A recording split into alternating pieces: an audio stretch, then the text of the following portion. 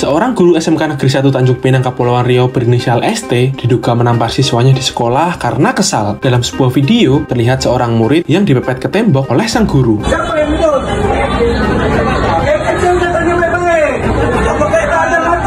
Disebutkan murid itu mengundur pintu kelas saat jam belajar sedang berlangsung, sehingga membuat kaget dan dianggap mengganggu proses belajar mengajar. ST marah dan mengkonfrontasi sang murid, tapi murid itu membantah kalau dirinya yang mengedor pintu. Hal ini kemudian menjadi sumber keributan antara keduanya. Kepala SMK Negeri 1 Tanjung Pinang mengatakan belum bisa dipastikan apakah benar ST menampar murid tersebut karena saat dimintai keterangan, para saksi memberikan keterangan yang berbeda-beda. Gubernur Kepulauan Riau juga turun tangan menyelesaikan masalah ini. Dia sangat menyayangkan jika kejadian penamparan itu benar-benar terjadi. Saat ini, dirinya dan pihak terkait mencoba mencarikan solusi terbaik bagi sang guru dan juga murid. Dia berharap hal-hal seperti ini tidak akan terjadi kembali. Gimana menurut kalian guys? Coba komen ya.